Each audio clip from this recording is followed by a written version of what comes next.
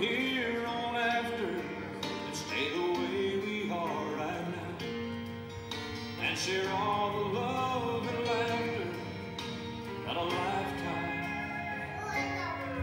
will allow. I cross my heart.